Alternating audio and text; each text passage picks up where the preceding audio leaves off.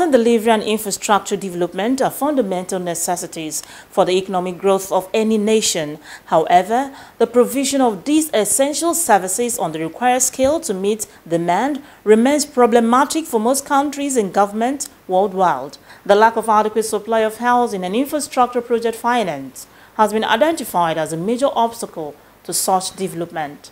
Studies have shown that the existing conventional finance and banking structures unlikely to provide adequate funding streams necessary to address the acute shortage of housing and infrastructure, particularly in developing countries. This is Housing Development, the only program that advocates for the provision of decent, low-cost housing for all Nigerians. Let's see the current happenings in this sector. I'll be right back. As usual, I remain Flora Ani, your housing diva.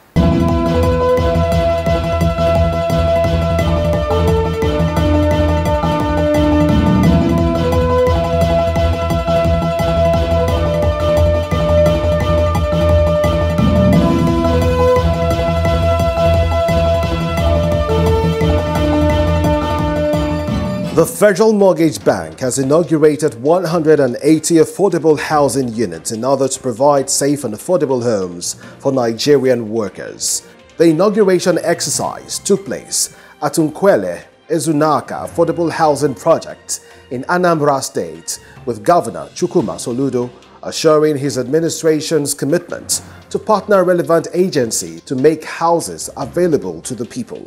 Business Director of Federal Mortgage Bank, we echo their commitment to deliver quality and affordable homes to Nigerian workers. Governor Chukwuma Soludo reiterated his administration's commitment to create robust atmosphere for investment to thrive and provide better living environment for the citizens.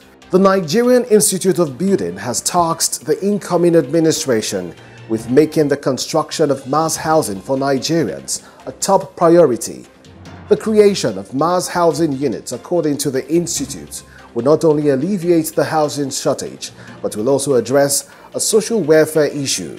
It will also reflect the economy, generating jobs for our growing population. Speaking on the sidelines of a two-day workshop organized by Nigerian Institute of Building held in Abuja with the theme Innovation and Technology in Housing Development with sub-themes understanding the Nigeria housing challenge, technology-driven mass housing provision, and innovations to address housing affordability. The president of the institute, Professor Yohanna Izam, said that there is an urgent need for mass housing provision. Africa International Housing Show, AIHS, on Friday paid a courtesy visit to New Material Nigeria Company Limited, a member of the Global 500 enterprise China National Building Materials Group Corporation, also referred to as CNBM.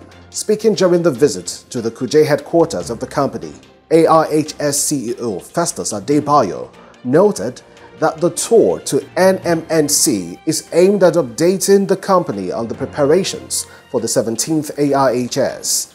AIHS team were received by the executive chairman of the company who spoke about the product's quality benefits and why Nigeria housing industry need the product, after which the team was taken round the factory for inspection. Adebayo commended the management of NMNC for creating job opportunities for Nigerians, training and retraining of their staff, which Nigerians form 95%. He also used the opportunity to call on the government to find a lasting solution to the power problem facing the country.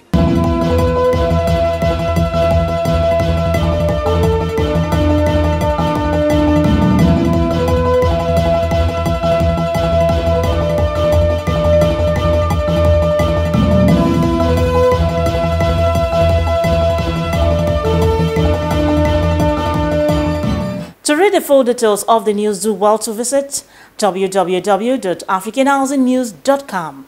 The success of any sustainable housing delivery system depends on a wide range of factors which includes availability and accessibility to mortgage finance.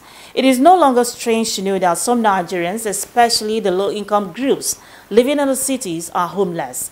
The reason is that the cost of construction or renting an accommodation is simply beyond the reach of an average Nigerian.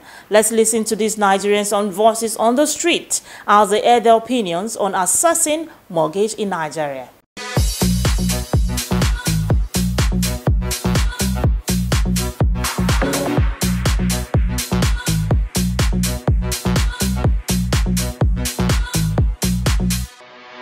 Think um, the mortgage for an average Nigerian living here in Abuja, a civil servant cannot afford because it's on the high side.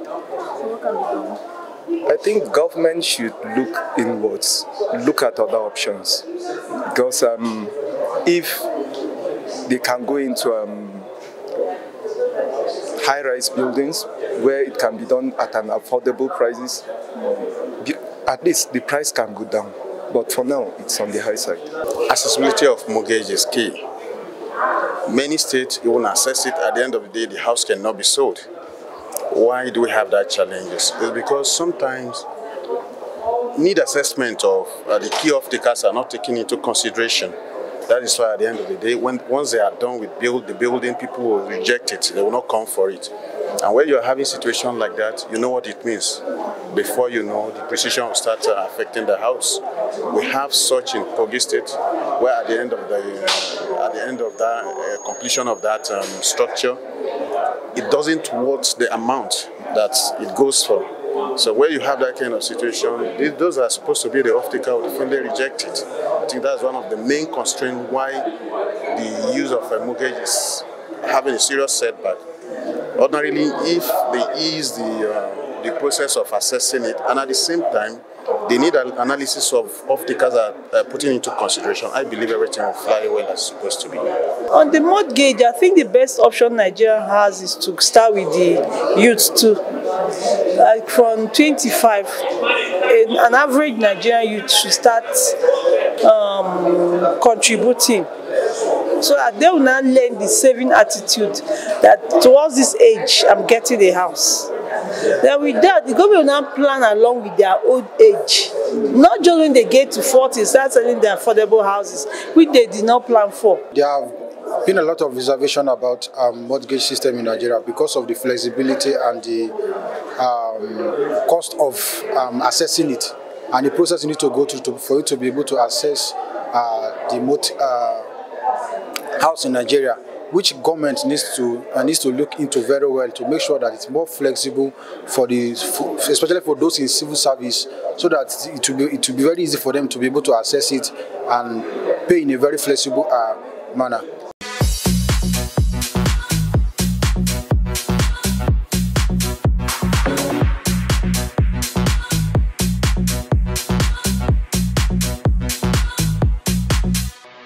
Voices on the street. There's several housing construction and delivery system in Nigeria is targeted mainly at the middle and high income group of the population that can either pay cash or access mortgage finance from the banks. What is the way out for low income earners? How can more low income earners become home owners? Now let's listen to these housing industry stakeholders.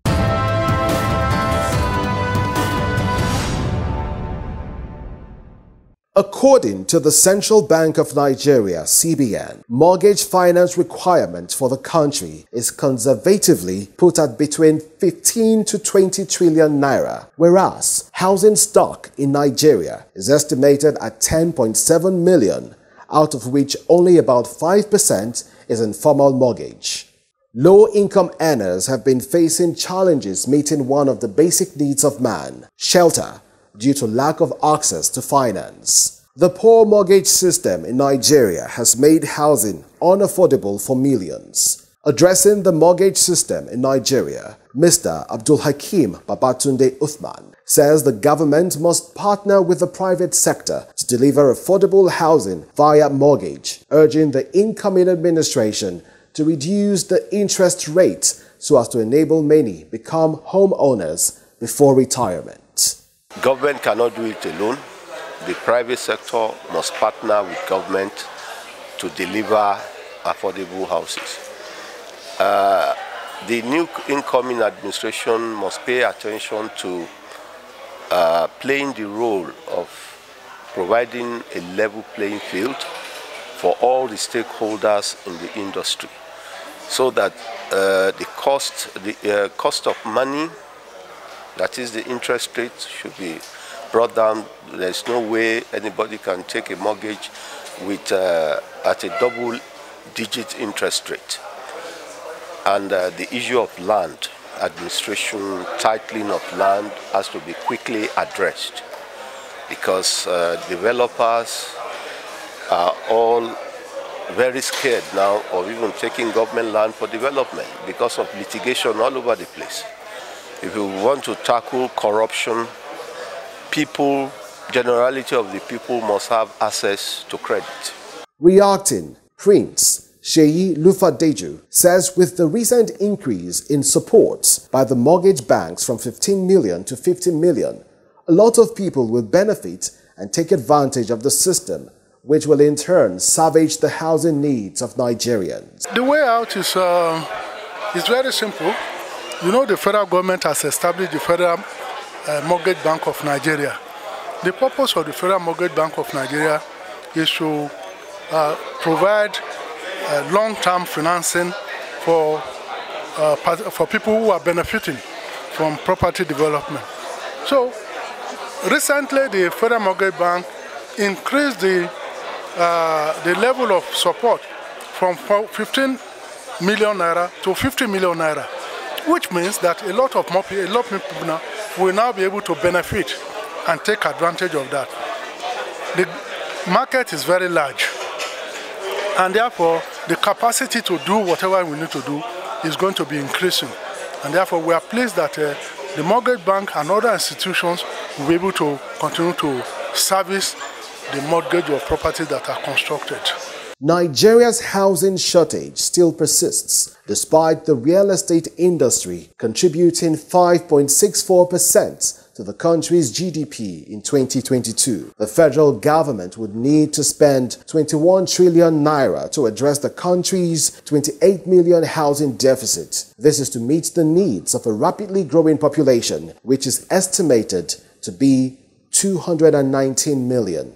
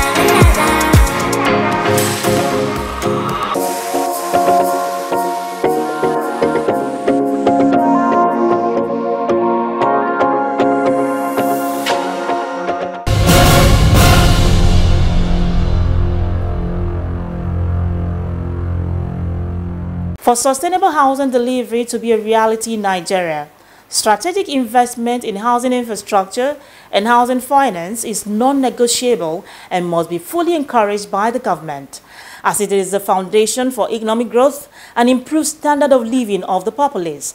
After the break, my guest, a former president of the Nigerian Institute of Building, will be joining me in the studio. Stay with me.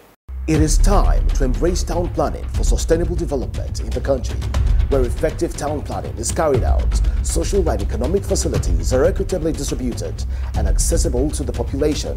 Health challenges will be minimized, productivity will greatly improve, wealth will increase, and safety will be enhanced. The enactment of the Nigerian Urban and Regional Planning Law in 1992, which became an Act of Parliament as Cap N138 LFN 2004 stipulates that approval of relevant development control department shall be required for any land development. Let us say no to unplanned settlements. Say no to illegal and unauthorized developments. Say no to land grabbing avoid demolition. Let's end the rising proliferation of illegal structures and housing estates. Engage in only approved development. Let's bring sanity back to our land. This message is brought to you by the Nigerian Institute of Town Planners with the support of Housing Development Advocacy Network.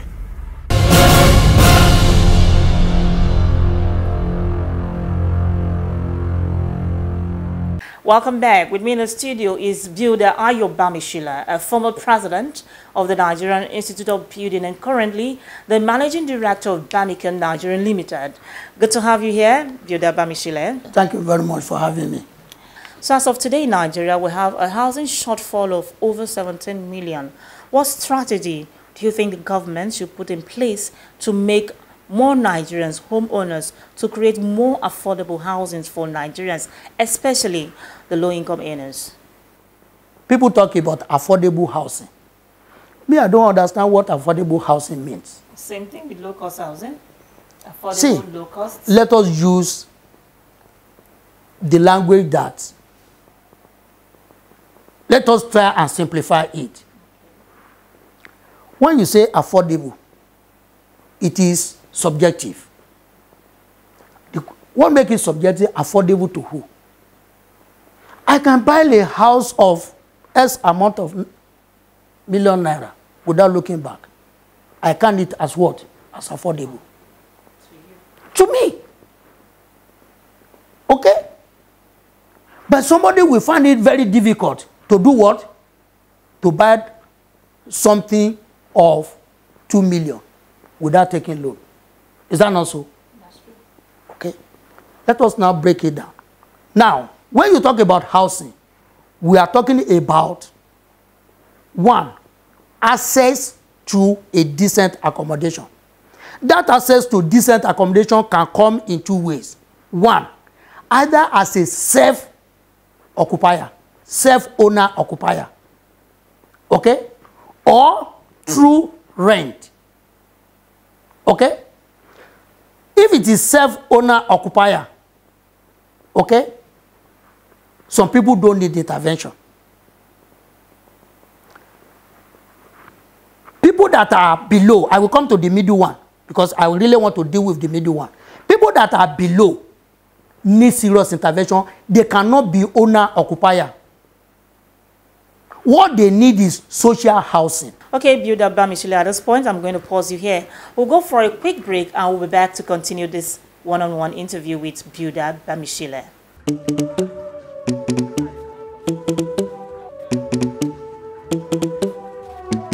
Let's go.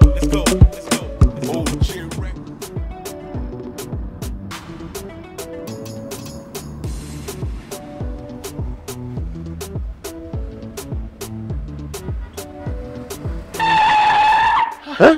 What is it again? Oga, and they drive this car, my mind no dey. My landlord is on my neck. Your landlord again. I thought I have told you this before. Get a mortgage, register with NHF scheme, and get a home up front. What is so difficult about this? Oga, I will do just that. See, eh, I will shame that my landlord. Mortgage. At the Federal Mortgage Bank of Nigeria, everyone deserves a home.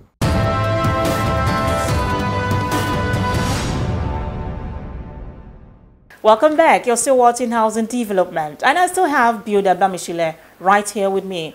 Okay, Builder Bamisile, let me allow you to continue. Before we went on that quick break, you mentioned the people that really needs government intervention to be able to own a house of their own. So let me let me leave you to continue. Give us a statistics, a breakdown. If these are actually implemented, do you think more Nigerians will be able to own homes? The salary that we pay people and we call it take home cannot even take them to the bus stop. Please, let's take note of that. Now, assuming we are talking about two-bedroom apartment for five million, and the person is to pay for a period of 25 years. Let's say a period of 25 years. Okay? If we say 5 million divided by 25, what are we going to get? We are likely to get 200,000. Now, if it's to pay 200,000 naira for mortgage, it means that 200,000 naira must not be more than 20% of his salary or 25% of his salary. Is that not the case? Let us say 25%. Divide 200,000 by 25. You are going to get 60.6666. So every month, he must be paying what? He must be paying 16,666. If that is what he's going to be paying, translate that to 25% of his money. If you work it out, you will agree with me that you're supposed to be paying him 66,000 naira, 66,066 for individuals. Pay people decent salary for them to be able to do what? To live in decent houses. Nigerians, we should stop deceiving ourselves. Thank you, Builder Bamisile, for your time on the program. Thank you for having me. Okay, I've been speaking with Builder Ayo Bamisile, a former president of the Nigerian Institute of Building. The Nigerian housing deficit, put at over 17 million, cannot be adequately tackled without availability and accessibility to housing fund. I'll be back. Stay with me.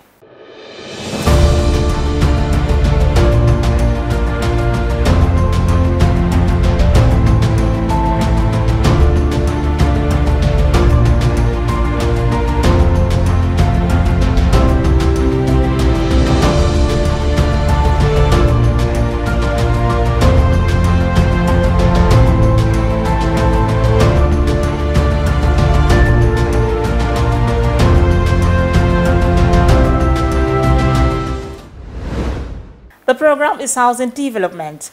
Infinity Trust Mortgage Bank PLC recently held its 17th annual general meeting in Abuja. Now here's a full report. The Board of Directors of Infinity Trust Mortgage Bank PLC last Thursday approved the audited financial statements for the year which ended December 31, 2022. The company disclosed this during its 17th annual general meeting on Thursday in Abuja. The bank highlighted its turnover achievement in 2022 to over 2 billion with a closing increase of 29% in its PBT from 656.9 million in 2021 to 847.1 million, which it described as commendable. Speaking at the 17th AGM, the chairman of the board, Dr. Adeyinka Bibilari, spoke on the management and the importance of economizing so as to increase the company's turnovers and ensure dividends are paid to shareholders. He also announced the declaration of financial dividends as agreed by the board to a turn of 6 kobos per ordinary share of 50 kobos. The directors are recommending a dividend of 6 kobo per ordinary share of 50 kobo held as at the close of business on April 14th, 2023.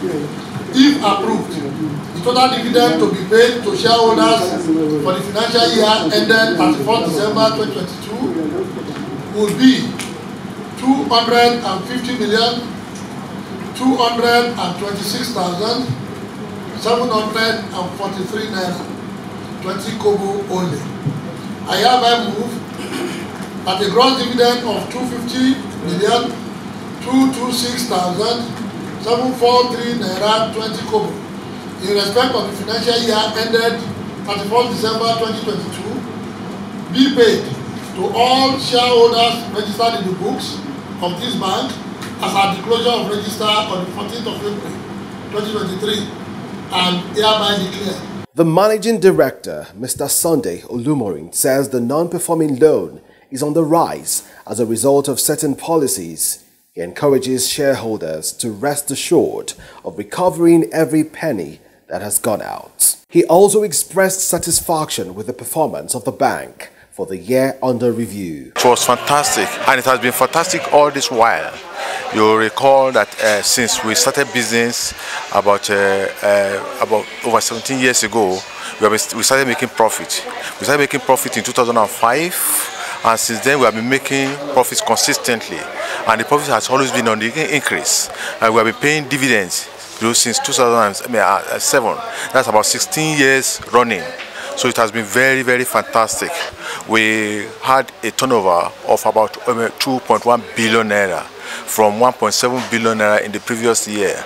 So it has been it has been wonderful. Stakeholders also commended the efforts of the board for ensuring their dividends are duly paid annually, praising the bank for its robust financial performance in the year under review. Infinity Bank has been a bank, you know, that have been consistent. In fact, they have been a bank that have been paying dividend for the past 16 years and they have been consistent in it. So shareholders are always very happy at their annual general meeting. Actually, Infinity Trust has always been one of my favorite banks. Not because of anything, just because of the dividend they have been giving us.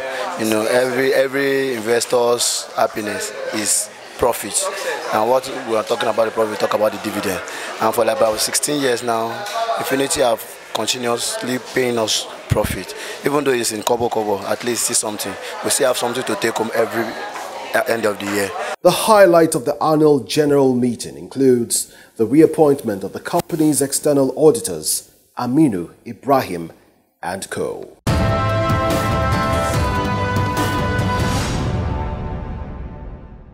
Housing is stability, housing is dignity, and we need solutions that are credible and bold and radical to solve the housing crisis bedeviling the nation. On that note, I end today's edition of Housing Development. Thanks for watching. I remain your housing diva, Flora Ani. Do have a lovely day.